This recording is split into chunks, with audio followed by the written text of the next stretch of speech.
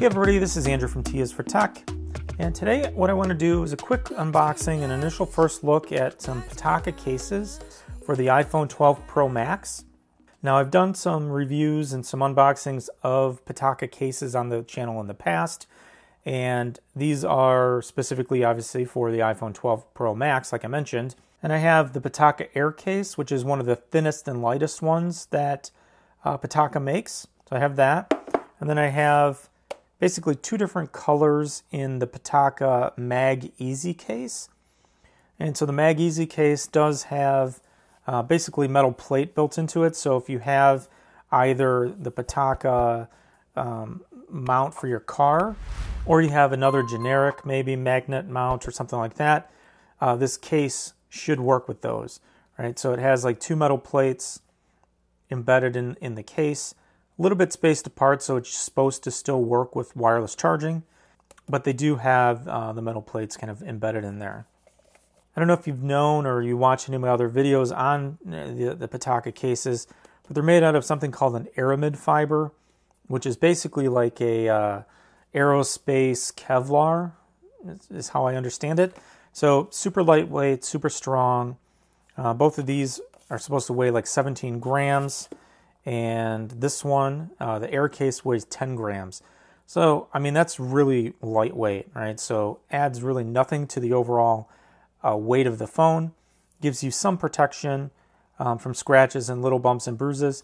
Obviously, is going to be um, not as protective if you drop it. So, it's not, this is not a like military grade drop protection case where if you drop it from five feet in the air, it's going to magically protect your phone. Obviously, that isn't the case, but if you're looking for something that's slim and trim, uh, that protects the case from just normal wear and tear and scuffing it up and, and that sort of thing, definitely you might want to take a look at these. So what I'm going to do is just quickly here uh, unbox them, you know, give you a little look what they what they look like, and then put them on the phone, test the fitment, uh, test the fitment, and then that's basically it. So the one thing I do like about uh, the Pitaka cases, I mean, they're a little bit expensive, I won't lie, but they're really nice. and they're packaged really nice and all of that. So Pitaka, alternate, uh, alternative tech life, a little bit of a magnet closure on this case, or the, the packaging, and then you have the case itself. So get a little material, MagEZ case, how do you look at the warranty or uh, get VIP treatment, that, that sort of thing. So have that. And then when you look at this, it is super thin. Hopefully that focuses. Now the thing with the air case is it does have some cutouts for around the different pieces of the phone. So kind of the volume rockers, the power button, uh, a little bit on the top, and then the bottom. So this one does not fully like wrap around the case itself or wrap around the phone itself. So it does leave some portions of the phone exposed, uh, but it does overall, you know, do a, a job of protecting. So this is my iPhone 12 Pro Max in graphite, and you basically just kind of snap it in there.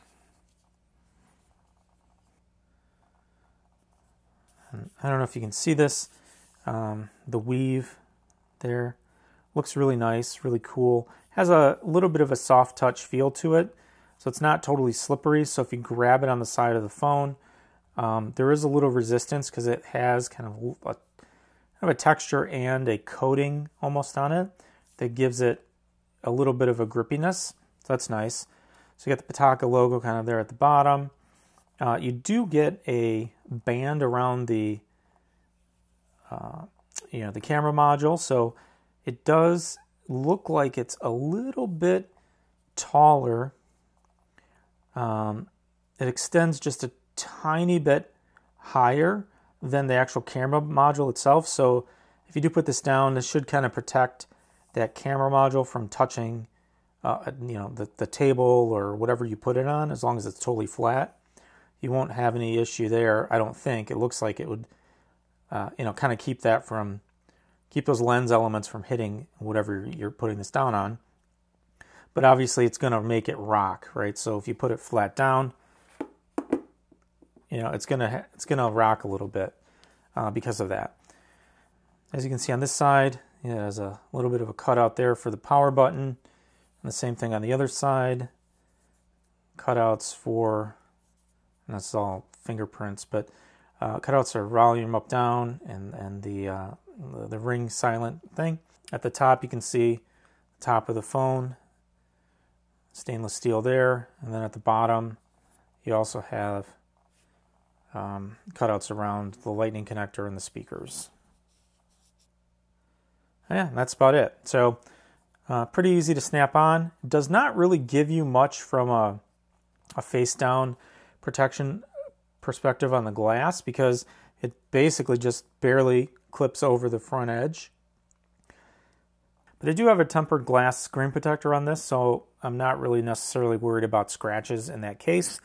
Um, but that's something to kind of keep in consideration if you're if you don't have a screen protector and you have this case, it's not going to give you a ton of face down protection because uh, it might be touching the glass.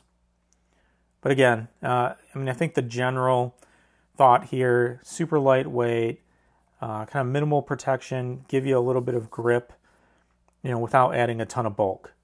You know, it's maybe better than carrying the phone with no case or uh, with only like something like a dbrand skin, um, but it's not going to offer you like a ton of drop protection. So that's the Air case. So the next case we'll look at is the MagEZ case in black. So same sort of thing, same packaging. And actually, it looks exactly the same. So this has the same uh, cutouts and it has the same, basically the same setup as the other one, except this does have the the magnets built in. So, yeah, basically the same thing. Take a look there. Back is the same, same logos, all the cutouts, everything is the same. The only only difference is is that the back of the case is just a tiny bit thicker because they do have the embedded magnet mounts in here. Now this says compatible with the Pitaka magnet mount. Now I have used this, um, you know, this line of cases before with a magnetic mount in my car uh, from some earlier phones that I've had, and I didn't have the Pitaka, uh, you know, magnetic mount, and it worked fine. So I'm assuming it's probably optimized for their uh, for their mount, just based on the spacing of of the the plates. But um, I don't necessarily think you have to have their mount. At least in the past, like I said, I've used a different mount and it worked fine. So this is the black. And then this is the same thing, which has a little bit of this like blue color. So bluish black. Hope you can tell the difference here. So black, bluish black. And by bluish black, I just mean you know, it's bluish black. So it does look kind of cool. I do like this actually. Um, this one might look really nice with the iPhone in the blue color that Apple has. So that, that might actually look really cool with that. But again, you know, same thing. Snaps on the phone. Gives you kind of a stylish look. and same setup as the other one. I'm gonna, I don't have a charger right here, but I'm gonna go quickly test this on my charger and make sure that it does charge.